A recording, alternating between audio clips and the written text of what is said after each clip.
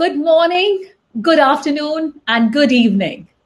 A warm welcome to all the participants from across the globe at the Horasis Asia Meeting 2021. I'm Preeti Dubey, founding director of Strive High, a soft skills consultancy and development company based in Singapore. In capacity of a management psychologist, a leadership and performance coach, I have coached and trained thousands of managers and leaders globally, especially women. I am honored to share the discussion on gender inequality, a topic that needs urgent attention as it concerns half of the world's population. It is negatively impacting the entire population, casting damaging economic consequences for regions where significant gender gaps in education and employment exist and affecting the efficiency and growth of organizations with less representation of women in leadership positions. All of this has severe repercussions on the sustainable development of the entire world. I have a panel comprising of highly accomplished, experienced, and eminent speakers. Constance Agyeman, Director, International Development, Nesta Challenges from United Kingdom. Ayumi More More ah, Aoki, Founder and Chief Executive Officer, Women in Tech, joining us from France. Amelia Lopez Huix, General Partner, MCI Partners, from joining us from Netherlands. Head Wish Nuance, Managing Director, International Banking Federation, joining us from United Kingdom. Deborah Wang, Chief Executive Officer, Kingdom Investment and Development, joining us from USA. We had, they have been working diligently in their respective capacity to make a difference and walk the talk themselves. There is no denying the fact that gender diversity has progressed over the last decades. More girls are going to school, fewer girls are forced into early marriage, more women are serving in parliament and leadership positions. Laws are being reformed and advance uh, to advance the gender equality. But the gender gaps in economic participation have barely changed in the last 20 years. Only 50% of the women in the working age population are economically active, compared to 84% of the men. 78% of women workers in South and Southwest Asia and 60% in Southeast Asia are concentrated in vulnerable employment. Now, as we know, Women's progress has been shadowed by discriminatory laws and pervasive social, pervasive social norms. Women and girls are discriminated against in health, education, political representation, labor market. They continuously face challenges surrounding childcare, personal safety, access to good sanitization, etc. Now, therefore, throughout the world, women receive less education and are not employed at the same rate as their male counterparts. And they continue to be underrepresented in all levels of political leadership. COVID 19 has further exasperated the situation. It has left many women struggling to keep their jobs as the boundaries between work and home have blurred, and their unpaid care work increased significantly due to school closures and increased uh, needs of the older people. So the pandemic has also led to steep increase in violence against women and girls. Not to forget that nearly 60% of the women in the informal economy, um, it, it, it, puts them uh, at great, greater risk of falling into poverty. So the situation is indeed grave and needs serious attention at both policy level and implementation level. Hence, the United Nations move to adopt gender equality in the 2030 Agenda for Sustainable Development in 2015 is indeed reassuring. The member states have committed to making gender equality an essential goal as they recognize gender equality as a catalyst for progress of achieving sustainability, equality, peace, and human progress for all countries and people. However, we know that many cultures consider women as unequal to men. And despite their government's acceptance of the UN goal, goals, most Asian demographics are failing to achieve them. The question is, how can they accomplish this daunting task? Should they suffer sanctions for missing some UN goals? How may their attitudes be changed? Now, these questions will be the focus of our discussion today. And we have an array of astute panelists who will share their views on the topic. I would like to request them to speak about their journey and make their opening comments. I would first like to invite Amelia Lopez with her introduction, please. Hello, my name is Amelia. I'm originally from Spain, but I live in the Netherlands. So my journey into gender equality started. I was originally at the very young age. I was an Olympian swimmer, and uh, at the very young age, I became an IT engineer. I was the global IT managing director at Honeywell. But then motherhood uh, kicked in my life, and that I experienced gender equality 20 years ago. Uh, it was by experiencing one of the most pervasive gender inequality issues that is that of bringing children to the world and it's known by the motherhood penalty. And in that sense, so uh, my journey to gender equality started by having a strong commitment that telling myself that being the mother of my children was not going to be the last thing I was going to do in that planet, but the first of many. So I became in 2010 and a strong advocate for maternity protection, entering the Commission on the Status of Women together with Melinda Gates and another group of advocates with Women Delivered to present the first framework on gender equality on that commission uh, in, the, in the United Nations. And since then, I have been working as an advisor, especially in gender and macroeconomics, uh, advising heads of state and especially ministers of economy around the world on the importance that without gender equality, it's not that women will not progress, no country in the planet will progress, and for sure the sustainable development agenda that will give prosperity is the ideal vision for the planet will not be achieved. We can go in much more detail at my basic job. Uh, currently, I'm uh, I'm leading the UN Global Compact Target Gender Equality Program for Dutch multinationals in order to accelerate the progress uh, of the participation of women, especially in the economy, but overall in all society. That is fundamental. Wow, what a phenomenal accomplishment. And I, we are really privileged to have you with us today. Um, I would now like to invite Hedwige Nuyens. Please share with us about your journey. Thank you so much. Uh, thank you so much. So my name is Hedwige Nuyens. Uh, I'm the leading the International Banking Federation. So I have had a much uh, economic and financial career. Uh, now I'm representing the bank industry worldwide. So that means that in my career, I had the chance to build all the skills, the experience and the network that is important actually to make change happen. And along this way, I have been helping and advocating for gender diversity for more than 20 years. So as I lacked a role model myself when I was a young girl and starting in the job, I really took the plea whenever I will have the chance to be in a position of influence, I will help other women. And that I've been doing consistently. I've been chairing the Women's Network at BNP Paribas. Now I'm chairing European Women on Boards. And it's really about sharing that knowledge, engaging with women, but also engaging with each stakeholder that can make change happen. And very uh, happy to share later on. Thank you so much. Wonderful. And I really like that you are there to, you know, uh, not missing any step to make the change happen. And we'll learn from you later. Uh, I would uh, now in, like to invite Constance Agyeman. Please share about your journey, Constance. Thank you so much. Um, my journey really is a, a, programmatic one in gender equality.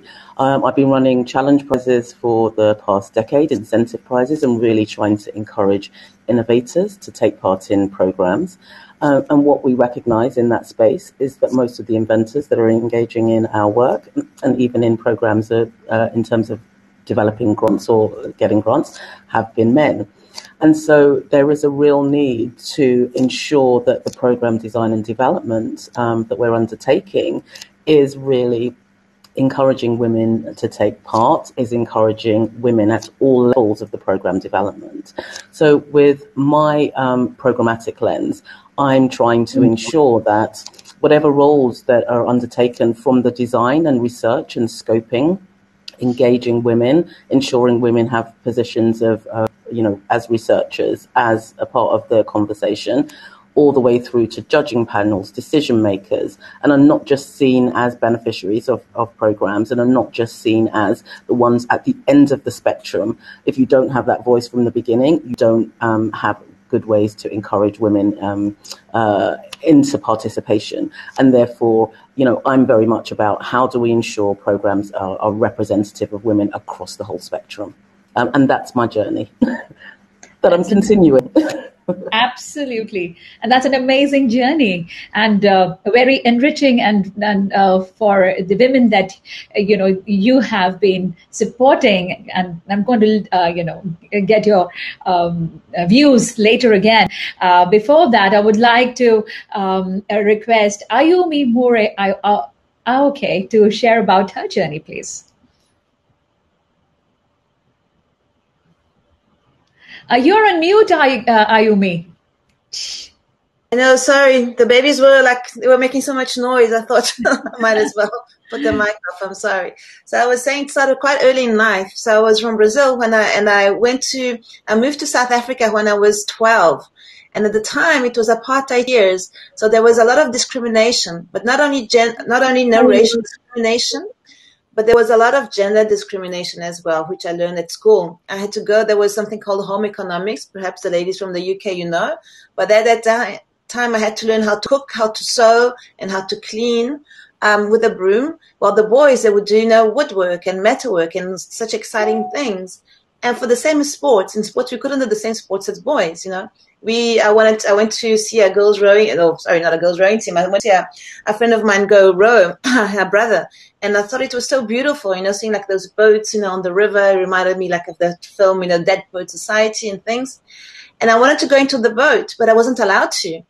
And I asked but how, how come we can't go? And she says because we are girls. Girls that were not allowed to go on boats just because we were girls so I said, well, that's a bit too much for me. Now I already have to learn how to make, know, no crabs that and how to make eggs. I want to go on the boat. And so after lots of struggles, we had to finally manage to, to convince our headmaster to, to build the girls' first rowing team. And we trained so hard that after the first season, we won South African champions for girls. Um, it wasn't that difficult because there weren't many of us, you know, on the competition, but it really proved that we can do anything we want, you know. So from being a victim, we became survivors, we became activists, and really became the force for good. And really showed that throughout my life, when women get together, when we have the same purpose, we put our energy together, we can change anything we want. So later on in life, when I became an entrepreneur, I built my company, my first company in, in the digital space. I found out, you know, realized that there weren't a lot of men, women in, in tech. Um, but I thought that things were getting better. I really thought, you know, it was 20, 2017 then when I really, you know, was experiencing that. And then I said to myself, well, let me go to, to Web Summit. Let's try and get inspired by other women um, and see how, you know, we can correlate because I had just had my fourth pregnancy. I was exhausted mentally, you know, physically. I had laid down for six months. and when I went there, I saw this amazing woman and I said, and they told me, we're still not enough. But the thing is, the gap was getting bigger, right? For the past four decades, the gender gap in technology was getting wider and not smaller. And that blew my mind away. I said, that is not possible. What are we doing about it? So we were just there, like, you know, getting tickets that were, had like a little percentage of a discount, but that's not going to solve the problem, right? Solve the problem to take actions on the ground to make things happen. So I looked around the things that were going on, and then there were many initiatives, but were isolated. They were doing good things. Otherwise, there would be like networking. They would just network, which is great. It's super important, but just networking won't change either. So I said to myself, let's put something else together. We have to be a community because the force, the power of community, it's uh, it's outrageous, it's important, and that's throughout that's the world. Amazing yeah. And then we have to have programs because if you don't implement programs from the mm. grassroots levels in the education system in enterprise in all the systems it will not work. And yeah. obviously we have to do it globally mm. because there's not one single country in the world ha- that has achieved gender parity So this Thank you so much. we will get back to our, uh, you know, on this topic of women in tech, definitely. Um, thank you so much from your about your journey from victim to being victorious. So I'll get back to that, but I would now like to request Deborah Wang to kindly share about her journey, please.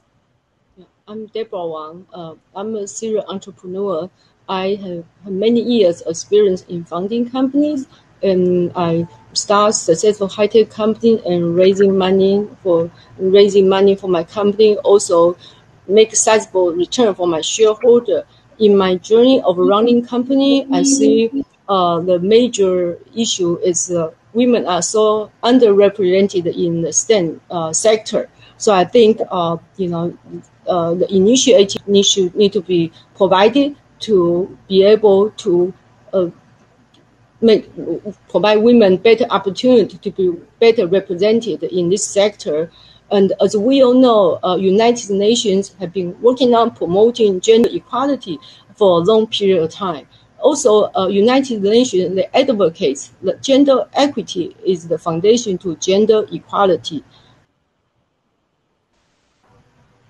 To, to, oh. Gender equity is yeah, so my internet connection not good, you know, it's cut off a lot. So okay, so so gender equity is the process of being fair to women, to ensure strategy to compensate for women's women historical and social disadvantage and discriminations.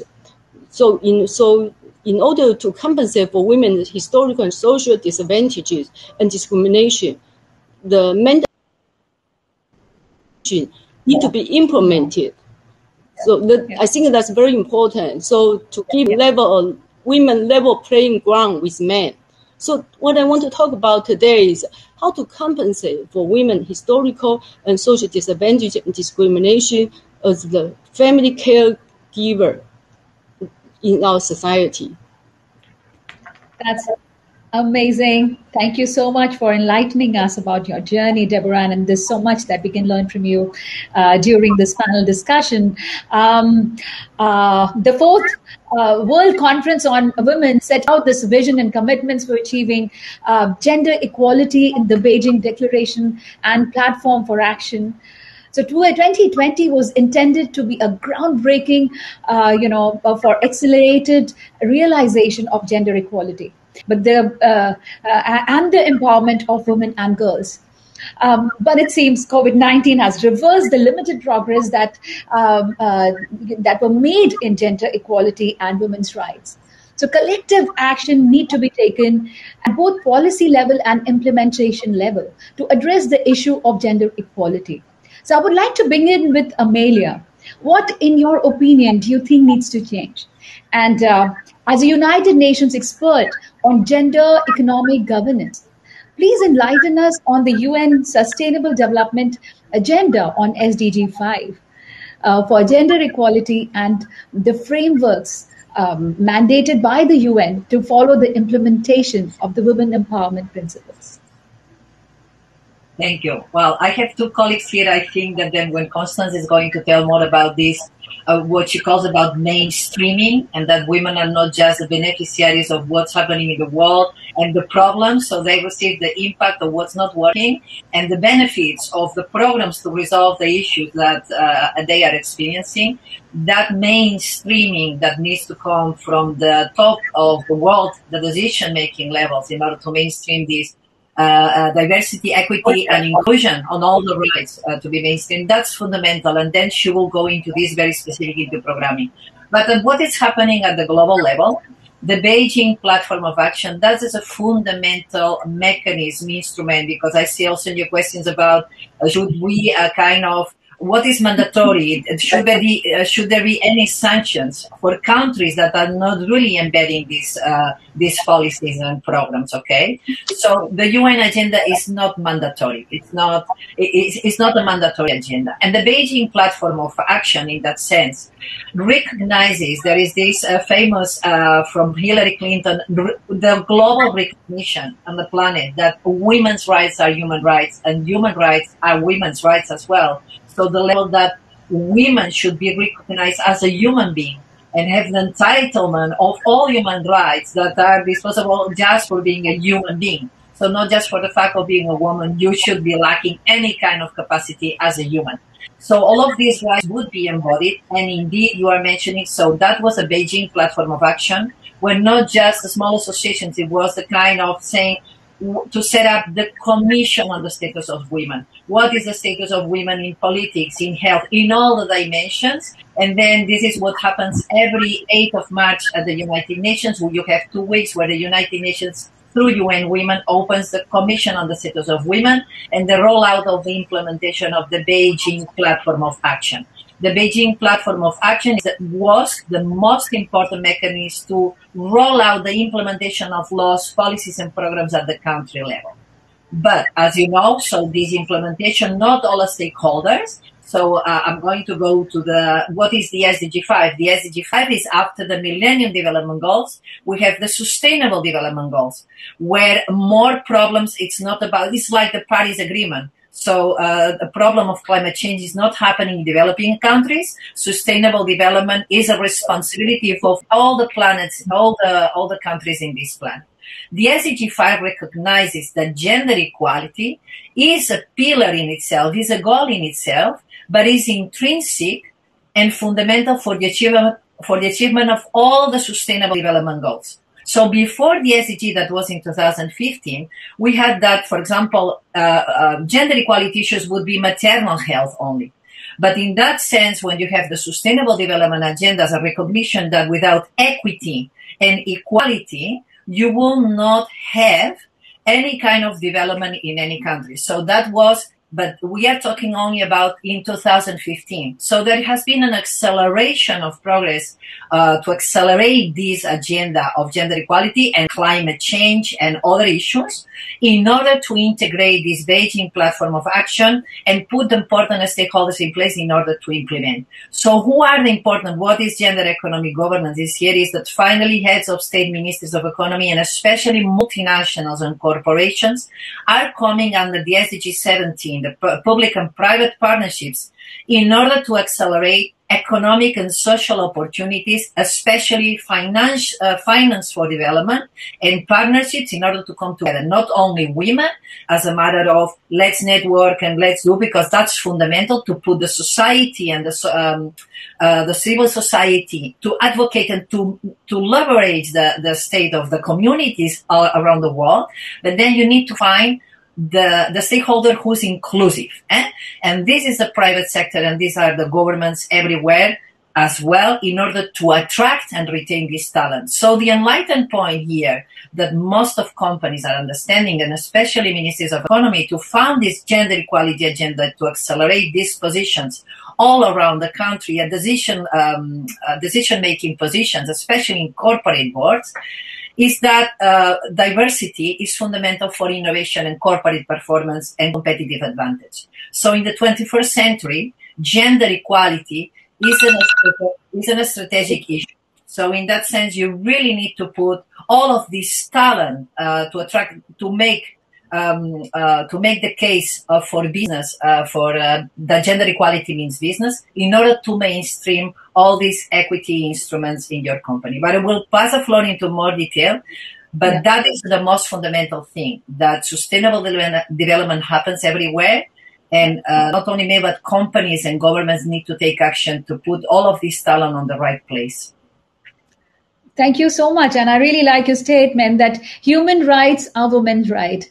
And, and the human, and these goals are fundamental to success of everything. So, um, and, um, the, the, but the fact is that women are engaged in taking care of children, elderly, performing chores, and, um, and these jobs, they play a very integral role in development and you know nurturing the society but they hugely comprise of unpaid work so now, when women carry out at least uh, actually two and a half times more unpaid household and care work than men, as a result, they have very limited uh, time for you know lesser time for education, paid labor, or long working hours in the offices. And this kind of severely limits their chances to develop their capabilities and exercise exercise uh, freedom of choice um, in regards to uh, even matters in life what they like the most and what they want to pursue the most. So now, uh, my question now is to Deborah. What do you think Asian countries need to do to recognize, reduce, and redistribute unpaid care, and domestic work for women to achieve um, UN goals for gender equality.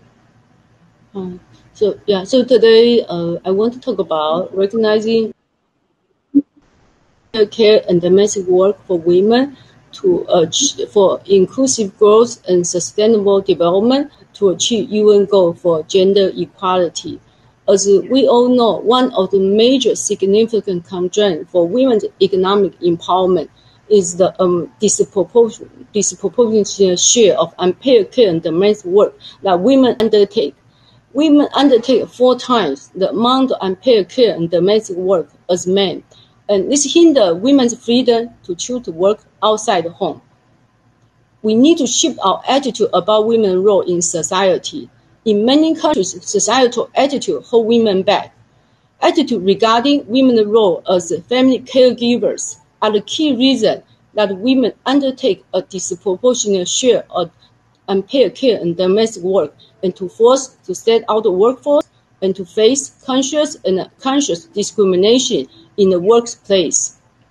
Redistributing this disproportionate share of unpaid care and domestic work will unleash women's economic potential and to enhance development outcomes. The development outcomes provided by United Nations are the following. Number one, reduce unpaid work for women will increase time for women to increase engaging in decent work and economic opportunities. Number two, reduce unpaid work for women will allow women to be able to participate in education. Number three, reduce unpaid work for women will allow women to participate in leadership, leadership and politics. And finally, reduce work unpaid work for women will allow women to have time to self do self care, care for themselves and the leisure activities. So, in order to free women up to work, engage to work for pay outside the home, the following initiatives need to be implemented. Number one, expanding affordable child care. As we all know, women have been historically disadvantaged with the burden of child care. So it is very important for the implementation to expand affordable child care, such as government subsidized child care, company daycare, to help women balance their child care obligation. Number two, improving household and transport info, infrastructure. The improvement on household and transport infrastructure reduce, reducing the commuting time for women between work and home and other activity. Number three, implementation of digital technologies. Digital technologies such as digital banking, digital payment have saved enormous time for women for spending time traveling to a physical bank or ATM and staying in line. Furthermore, the telecommuting adopted by business nowadays also allow women to stay in workforce to work from home if they so choose. And number four, share unpaid care and domestic work more equally between men and women through, for instance, policy promoting parental leave and uh, flexible working. Flexible working is a very useful mechanism to allow women to be, be able to come in later, work later, or work from home to help women to balance their home, house, housekeeping, elder care, and the child care obligation. Why should we all care about this? $4.5 trillion could be added to GDP for Asia Pacific by 2025. So ASEC, ASEC globally need to work together to achieve UN goal for gender equality. This will make our world a richer and better place for everyone.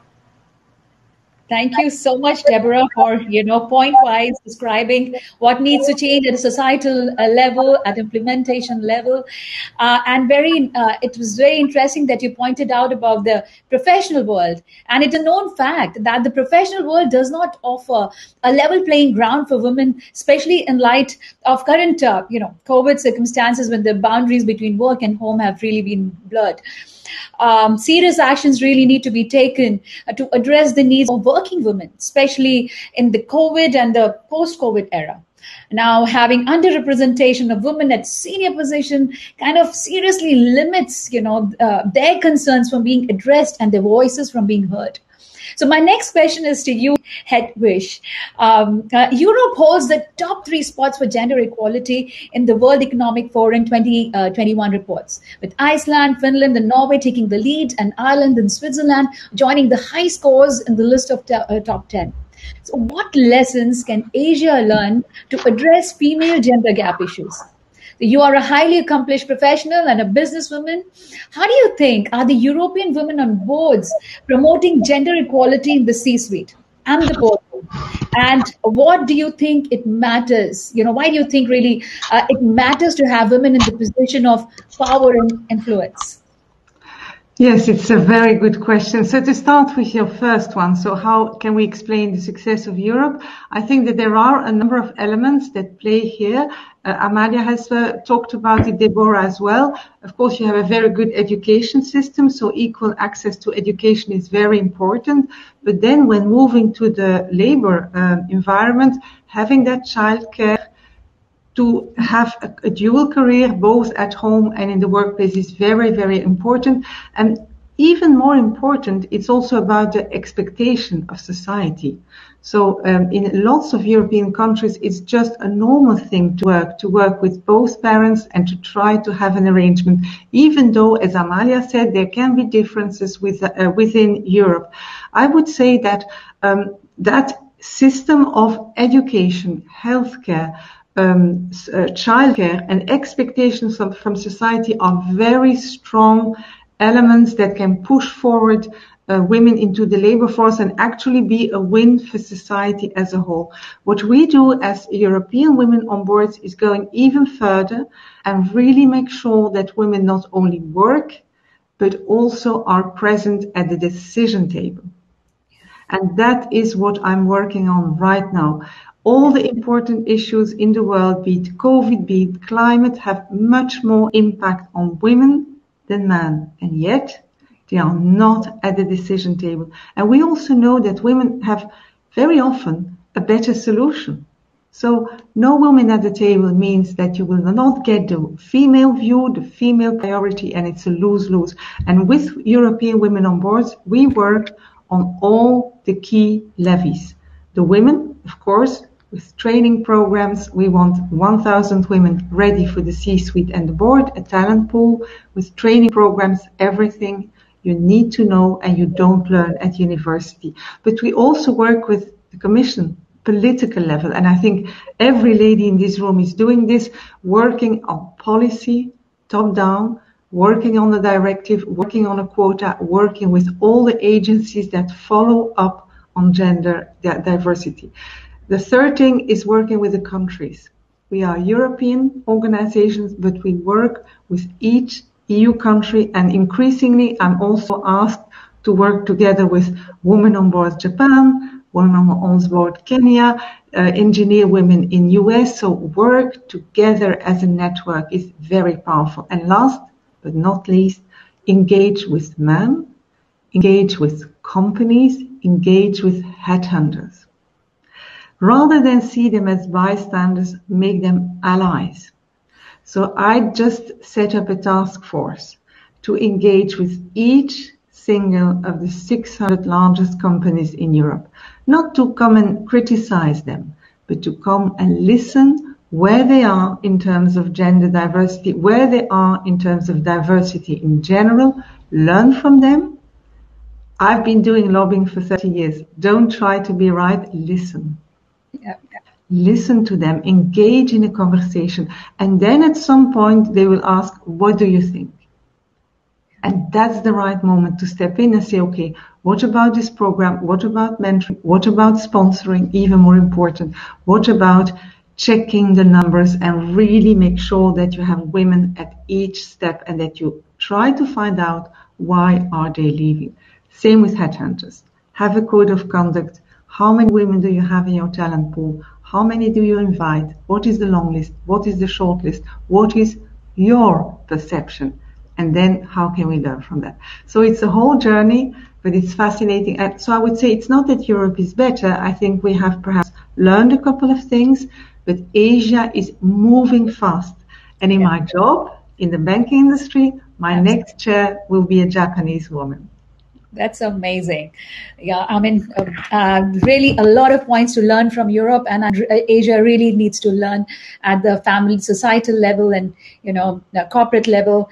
Um, actually, now one of the, uh, the biggest challenges that I now see is that the whole world is going tech and women continue to be under, underrepresented in the fields of science, technology, engineering. They represent only slightly more than 35% of the world's STEM graduates and less than 30% of the world's researchers are women. And this underrepresentation occurs in every region of the world. So now my next question is to you, Ayumi. Um, as a successful technopreneur, what do you think is the reason behind this, and what needs to be done at this, uh, you know, at the systemic level, at the policy level, to address this issue?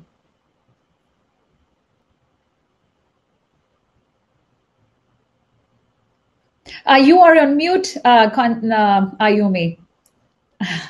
I am sorry. Uh, I'm back.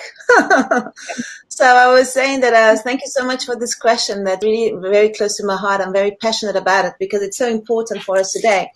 And unfortunately, if it was a, if I had just one single answer for this, it would be so much more simple to be able to tackle it and find a solution. But there are a multitude of reasons for this. I can think that, you know, it goes from challenges such as um, cultural norms, biases, lack of self-confidence for women, access to education, access to opportunity. And when you go to the entrepreneurial level, obviously access to funding. So there is really a very large prism of challenges, but also opportunities that we have to try and grasp and make better for us to be able to, to be better representation. But I would start first from the beginning so that we really be um, education, right? So I think that to be able to, if you look at what's happening today, today there are about 74% of girls when they arrive in about early years of teenage, 12, 13, that have interest to go into STEM education. But there are only 28% at the end of the day that have no STEM degrees. So there's a huge gap um, from when they want to choose what career path to where they're getting what they really study. But this I would say to the Western world, right? Because in other countries, depending on the region, we don't have, we have, we have around the world a lack of women in the workforce. And then we have a leaky pipeline all along the way. And in some countries, the leaky pipeline will come from education. Some will come afterwards for wanting to go into the workforce. So for instance, I was in the UAE this whole week and they don't have the problem in much more in, in education. They have a lot of women engineers. Attention, lots of women engineers. When it comes to coding, like maybe one fifth. But they do have women into the scientific, but they don't go to the workforce. In the Western countries, I would say, much like say Europe or, or South or North America, to make it very general, um, the the problem comes as early as education. And for this, we have to support them, you know, making it something more more interesting for girls, giving them access to um, to digital literacy classes as, as young as from the, when they're five years old, because the bias, you know, the way you shape your mind and the um, it comes from that early age. And for this, we have to also to add skill building, like strategic thinking. Because if you think that in 2030, they say like wild numbers, let's see if it's going to be true or not, that 85% of the jobs, they don't exist yet.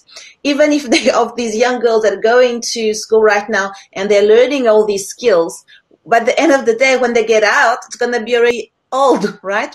because there have going to be new skills that are going to be needed. So I think we have to reform the whole educational system. But you know how long it takes and how, how expensive and especially it's very conformative, conservative um, thing. So I think there has to be a real partnership between um, governments and the educational ministries as well as um, corporates and you know a new educational companies that were able to kind of blend in and form a specific program, uh, but for everyone, right? I think it has to be a partnership because it can't just be for the private schools and for the people that have money. It has to be on the public education because everything, everyone has to have equal access to this because the digital divide that was, has grown with the pandemic is enormous and we don't want to leave anyone behind. So it's not about gender. It's also about social inclusion. And this comes from education. And if you put the partners with corporate and with the, with the with the government, that's how Absolutely. we can make change. Absolutely. Yeah, okay. so that's from the education. And obviously, afterwards, I think we have to learn how to continue skilling all throughout our life because, as I said, we have to be able to reskill, um, learn new things all along the way. Um, so that comes from mindset, right? Um, learning how to be agile, strategic thinking, design thinking. And this is something, and being able to be resilient and reinventing yourself every time along the way. Um, so these are things, these soft skills, um, also are the soft skills that they're going to be the most needed um, in the future of work because these are the skills that the robots are going to be very challenging for them to learn, right? Until they learn that, you know, we have like a, a step ahead. So these are the things they're going to be looking for. So we have low code today, which is going to be coding more easy. Now let, yeah. let the robots do that. They're good in coding. Okay. we can, we have to understand how it's done, but we have to take the step forward. We have to bring in empathy, creativity, you know, um, make sure that things, so this is what we have to bring to the table. And absolutely. Absolutely. Well, thank you so much. You know, Ayumi, I mean, you have really very important points to make. But I have this, you know, I have another amazing speaker, Constance, who's actually going to shed light on the point that you're making, and she'll add to that. So, Constance, you have been working in the voluntary sector, developing national and international prog- programs with engaged communities and organizations to create the conditions for equality and change. So, in your opinion, what should be done at a systemic level to transform the women's lives and enable them to, you know, reverse these vulnerabilities? Um, so, in your opinion, what do these Asian countries need to do to accomplish UN goals? Thank you. I Thank think you. Um, with our Nesta challenges, we work across a, a, variety of different themes. So we're topic agnostic. We'll work in agriculture, we'll work in fintech, in energy, um, in aging populations. So we have to take a really holistic approach to, to what we're doing and ensure that we're really engaging the broadest range of stakeholder groups within that, whether that be policymakers, industry, um, you know, academia, um, innovators and practitioners on the ground. And I think that's the approach that we need to take when it comes to gender equality and parity. You know, we cannot put women in a box, um, you know, in terms of a group to for things to be done to, or for you know. Uh, we have to engage in a much more holistic way and a more intentional way. Um, and I think from from our experience, you know, we have run challenge prizes which haven't been successful in engaging women, and we've had to look at that and re- review why. Um, and that you know that may have been that we didn't have enough uh, women in uh, innovators come forward with ideas for a particular challenge. And so when you review those things, you have to consider language, approach. Are you using the right case studies? Are you using the right imagery? That enables women to understand that they can be part of that process and, and, and it's it's for them. You know, so that's one aspect of it. Uh, you know, a systemic approach is not just about putting in place a singular action. It's about considering language, considering how the design of a program is done and how women are involved in that um, process, considering um, when you're looking at need, not lumping women as a homogenous group, but doing some of that nuanced thinking about, well, yes, there may be a, a group of women that you're trying to approach that are um, based in the informal sector. So, what are the situations that are really, um, you know, they're challenged with? Um, and how do you start to think more intentionally about how you engage them in a process or what the outcomes of your program should be um, to really better that situation for, for participation.